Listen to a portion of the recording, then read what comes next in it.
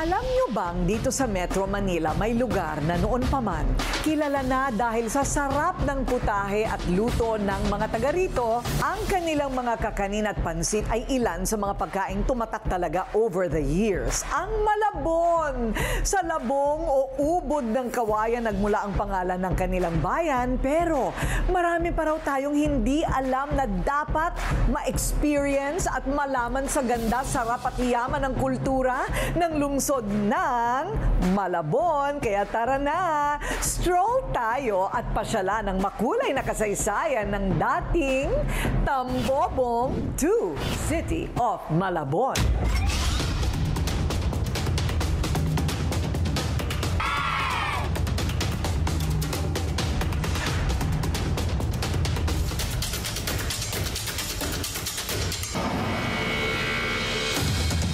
Summer Festival is not yet over.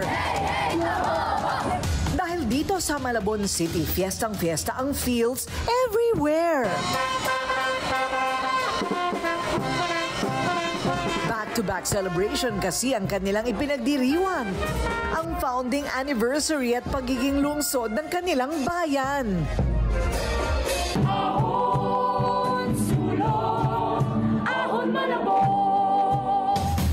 Kitang-kita sa bawat muka ng mga Malabuenos ang excitement at kilig sa pinakagrandiosong event matapos ang lockdown. Sa street dance palang ramdam na ang nag-uumapaw na energy at good vibes ng mga participant. Ahon malabon. Bawat barangay, mapabata o matanda, may pambato sa kasiyahan. Walang nagpapahuli sa saya ng kanilang Tambobong Indakan 2023 Festival. Dahil ganito po sila sa Malabon. Hitik ang mga indoor at outdoor activities, kaya hindi magkamayaw ang mga tao kung saan tututok. Maging mga paborito ninyong celebrities, hindi rin pinalagpas ang okasyon. Sa kauna-unahang pagkakataon, month-long celebration ang pista ngayon sa Malabon. Mayor Jeannie, wow, congratulations! Bakit naman one month long itong naisipan nyo ngayong selebrasyon sa Malabon? Ang aming cityhood kasi actually sa April 21. May 21 naman is the foundation day sa pagkakilanlan ng Malabon. Ah, kaya. So medyo humabahaba yung mga activities at syempre excited na excited yung mga tao na magkaroon ng mga events. Ang ta- tagal na wala eh. Oo. Ika nga eh, explore, experience, exciting Malabon. Pagyayakap sa lumang tradisyon ng bayan ng Tambobong noon at modernong city ng Malabon ngayon ang tema ng kanilang pagdiriwang. Nakilala ang bayan ng Tambobong bilang half mestizo, half Indio town dahil tanyag ito bilang lugar ng kalakalan. Malapit kasi ito sa Manila Bay, kaya best spot para sa mga negosyanteng dayuhan.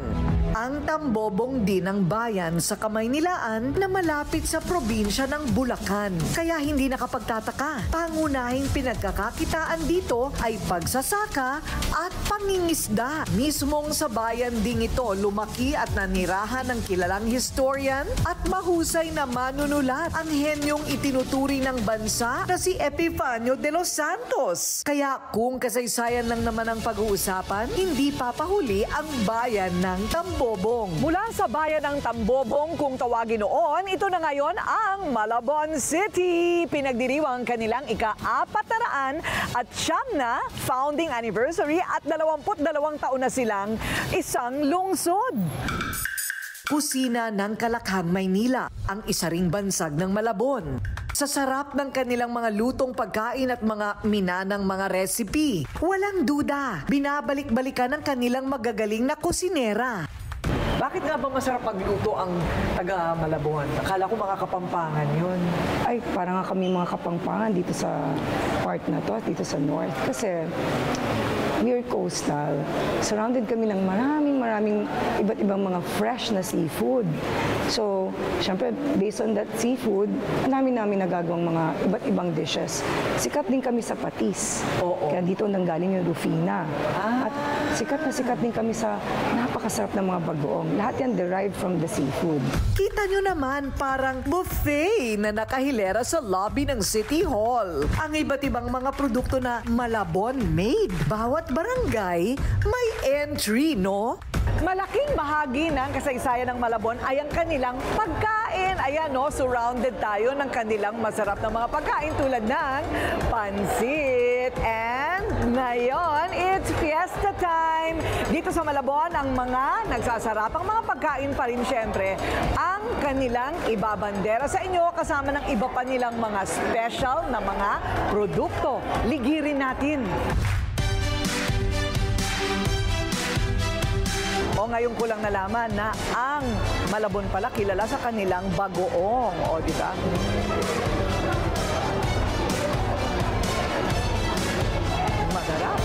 Sa barangay Tinajeros, ang Nelia and Lisa's Halo-Halo. 1960 pa nang simulan nila ang kanilang negosyo. Sila ang kauna-unahang restaurant ng Halo-Halo noon sa buong Malabon. Andun sa lahat, oh.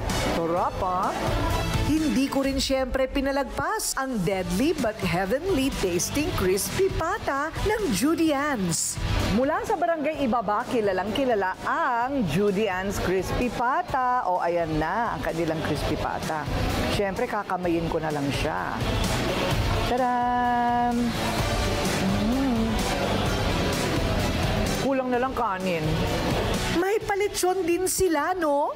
Mula sa barangay Hulong Duhat, ang kanilang lechon at meron pang kwento o hindi ba gawa ng nanay niya hanggang sa nagsimula siya sa isang lechonan lang o isang lechon. Ngayon, ang laki na ng lechonan niya. Pangtanggal umay at comfort food ang turon. Pero sa kanila, kakaiba. Ang trianggulo kung tawagin. Naku, favorite ko yan. Ube biko, at meron tayong mga puto, puto mix. Ang Nelia Suman ng panlaban ng Barangay Katmon. Pero ang kakanina ito, Suman with a cause. Dahil ang kinikita sa pagbebenta, ibinibigay ng may-ari sa mga estudyanteng kanilang sinusuportahan para magtapos sa pag-aaral. May mga bayong nakabuhayan din ng mga taga-barangay Potrero. Gusto ng medalyon? Iba talaga ang sampagita. Lalo ang sampagita ng barangay may silo. Oh. Bitin ang mga nakabanderang pagkain kung wala ang famous Pansit Malabon, di ba? Ang Nanay's Pansit Malabon, ang pinakamatandang pansitan sa lungsod mula pa 1980. Itlog at hipon lang ang sahog. Pero pasok talaga sa panlasang Pinoy. Tinutukoy na Nanay's Pancit Balabon is yung tita na ng biyanan ko. Si, ang tawagin nila is si Grandma. Siya nag-start ng Nanay's Pancit Balabon. Nag-umpisa siya sa bahay pa lang nila dati. Parang ano lang, order-order lang hanggang sa lumaki ng lumaki. Institusyon na rin sa lugar ang orihinal na Dolores Kakanin. May ube, sapin-sapin at kung ano-ano pa. 92 years na in the business raw sila. At hanggang ngayon, naku, walang pagbabago ang kanilang lasa. Si Aling Dolor ay walang anak, dalaga po siya. Ngayon, um, ang ginawa niya ay yun ang pinakatrabaho niya or yun ang pinagkakabuhayan. Yun ang naging purpose niya sa buhay. 1930 siya nag-umpisa. Doon po sa production namin sa lumang simbahan. Ahon Malabon. Sa kagustuhan ng lokal na pamahalaan ng Malabon na lalong pag-igihin ang galing ng kanilang mga kababayan. Isang cooking festival ang kanilang inihain sa madlang people. At ang star recipe, walang iba kundi ang labong.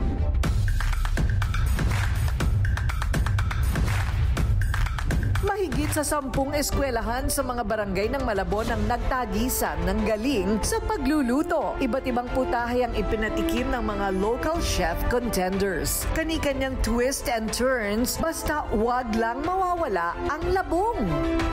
May ukoy labong, pasta, empanada na may halong bangus, mayroon namang lumpia, ang specialty nila. At hindi rin mawawala ang burger labong sa menu. Isa sa mga hurado si Ryan Morales o si Ninong Rai na taga Malabon din pala. At tulad ni Mayora, lahat sila walang tulak kabigin sa lahat ng putahing pang world class ang lasa. Sobrang na-impress ako. Well, hindi naman sa pagbubuhat ng bangko, pero taga Malabon din naman talaga ako. Hindi, pero nakita ako dito, talagang ah, from home cooks to professional cooks to students, lahat meron talagang laban eh. Ang galing, galing. Sobrang na-impress talaga ako. Kaya ang pinaka-importante lang doon, kailangan, naiintindihan pa rin natin kung saan ang galing at hindi natin nakakalimutan yung soul nung dish na yun. very innovative sila pero hindi pa rin na- nawawala yung traditional na pagluluto nila mas ah, in-enhance lang nila at naging creative sila sa pagluluto maliban dun sa sa kilalang nilang pancet yung labong na niluto nila kanina medyo ah, na, medyo na-amaze ako kasi hindi ko ina-expect na ang dami palang pwedeng variety na pwedeng lutuin yung labong na yun Ang proud winner ng Cookfest, walang iba kundi ang diningding na labong na may boneless bangus with crispy baluyot. Ako, yummy naman talaga. Bukod sa pagluluto, tahanan din ng Malabon ng mga sikat na personalidad tulad ng magkapatid na Maika at Angelica de la Cruz, Eric Santos at Michael Pangilinan sa larangan ng musika, Karel Marquez, Senadora Lauren Legarda at ang dancer na si Rochelle Pangilinan Ahon Malabon! The Pampakit, tatlong products all in one. You save 95 pesos pag bumili kayo ng kit na kasi nabibili naman ito ng tingi-tingi. Yan ang iyong beauty routine. Sa aking pakikifiesta sa Malabon, marami pa akong nadiskubre. Tulad na lang ng bakit nga ba Malabon ang tawag sa kanilang lungsod? Ano ba ibig sabihin ng tambobong tapos hanggang Malabon? Well, na-derive yung word na Malabon. Pwedeng sa tambobong because na it came from the word tambubong, yung parang barn daw in English. Pero sa dami ng labong dito sa amin, yung bamboo shoots, kaya naging malabon din siya. So, meron tungkol sa structure, meron din tungkol sa pagkain. Kaya kami, hindi lang naman kami kilala sa pagkain, kundi kilala rin kami sa iba't ibang mga lugar. O di ba, aakalain nyo bang taliwa sa modernong mga gusali na nakikita natin ngayon sa paligid? Dati pala itong napapaligiran ng mga labong o bamboo shoot? Sa inisyatibo at pagiging hands-on ng kanilang first-timer na alkalde na si Mayora Jeannie Sandoval, na preserba pa rin ng Malabon ang kanilang kultura at mayamang arkitektura. Sa Arellano Street, hindi pa rin natitinag ang napakagandang mga heritage houses. Sa narito itong itinuturing na tourist spot. Daong ang dating tawag dito dahil sa likod ng kahabaan ng kaling ito ay dating daungan o port area para sa trading o pangangalakal ng mga dayuhan. Pilit mang inaagaw ng bukas ang kahapon ng Malabon tulad na lang ng bahay na ito na naitindig mula pa noong 1861. Abay kasing tanda na ng ating pambansang bayani na si Gat Jose Rizal ang tahanang ito. Pero nananatili pa rin matibay at nakatindig kahit sa paligid ay modernong panahon na. Unti-unti mang nagbabago ang mukha ng bayan ng Malabon ay hindi pa rin mawawala dito ang kasaysayan at kultura na kanilang nakagisnan. Saksi ang bahay na ito sa pagbabago ng panahon. Pero bakit nga ba napakatibay ng tahanang ito na inabot pa daw ng anim na henerasyon sa kanilang pamilya? mas magaganda yung materialis noon. Kasi katulad itong bahay na to, yari ito sa Anara, Yakal, Molabe. Yung matitibay talagang kahoy na matitigas na kahit anay hindi kayang kaubusin. Sobra kaming napoproud kasi itong bahay na to saksi sa pagpapalit ng mga panahon. Itong bahay na to, pang limang generation na kami dito. Yung mga anak ko, kung tutuusin, pang six na sila. At may apo na ako. Di syempre, ibang generation na yon. Bukod sa bahay na ito, may ilan pang bahay sa Malabon na ilang siglo na rin ang napagdaanan pero buo pa rin at natitirhan. Isa ang bahay ding ito na dating pagmamayari ng mga luna. Ang turismo ay pinupush din, din ninyo dito sa Malabon. Oo naman, pero hindi lang naman turismo. Pero syempre, like what I said kanina, di ba? Explore, exciting, experience dito sa Malabon. Mar- marami din po kaming, hindi lang food ang gusto namin i-push sa tourism.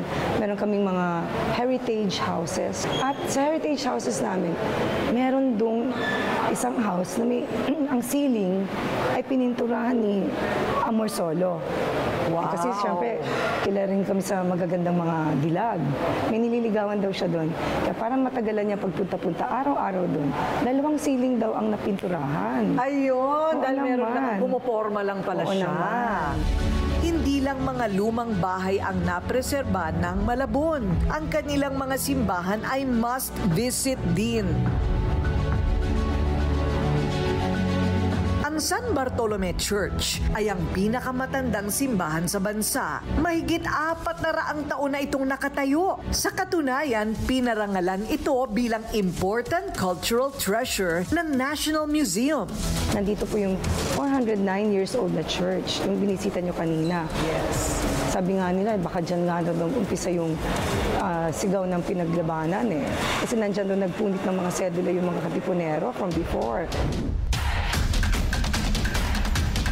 Modern talents naman ang ipinakita sa paligsahan ng mga paaralan sa Malabon. Street dance competition ito na dinaluhan pa ni Vice President Sara Duterte na siya ring kalihim ng edukasyon. Pati ang mga empleyado ng LGU, nako, humataw sa sayawan. Ahon Malabon!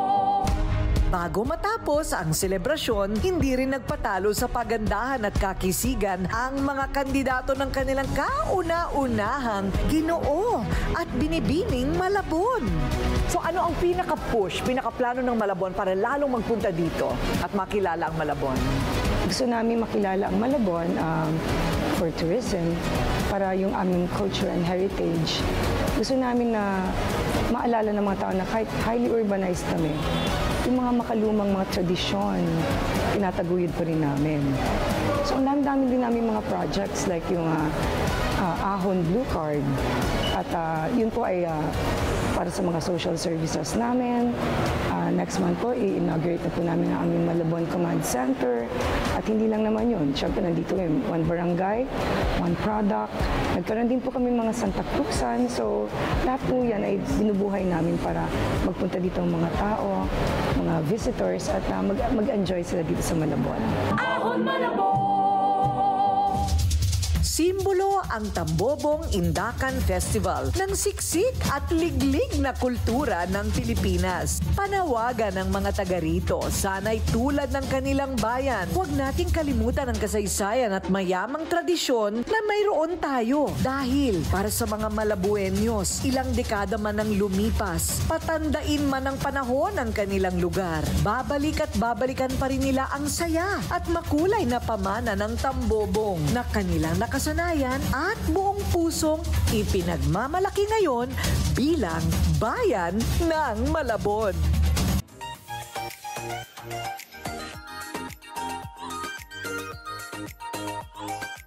Ito pinag-aralan talaga namin. Look at the back. Merong before and after. A real clinical trial from the United States. Because the active ingredient is tried and tested. A love to lash. Pampakapal ng pilikmata at kilay. Ang maganda dito sa Love to Lash ay yung applicator niya na pinasadya pa namin. Meron siyang foam kasi ilalagay mo yan doon sa parang pinaka-roots ng iyong ah, pilikmata. Isang guhit lang sa baba at taas, pwede na, wag nang paulit-ulit, hindi kailangan. Use it and in four weeks, makikita nyo na ang difference. Pahaba na ng pahaba ang inyong pilikmata. And mababawasan ang lagas. Lalo na kung kayo ay nag-curl lash and nagmamaskara every day. The only one in the market with a clinical trial, tried and tested, a love to lash.